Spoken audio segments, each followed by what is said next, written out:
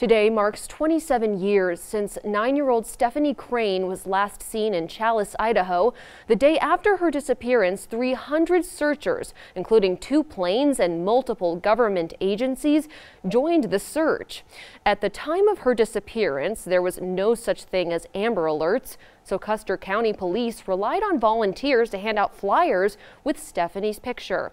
Over the years, the National Center for Missing and Exploited Children, Idaho State Police, and the FBI continued to follow leads in the hopes to find Stephanie. And her case has been featured on TV shows such as America's Most Wanted, Cold Case Spotlight, and Disappeared.